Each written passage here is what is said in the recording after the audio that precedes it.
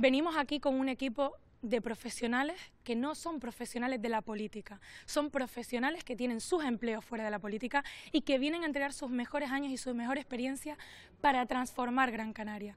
Ese es nuestro valor, nuestro valor es que venimos con ganas, con proyecto, con ilusión a modernizar el Cabildo.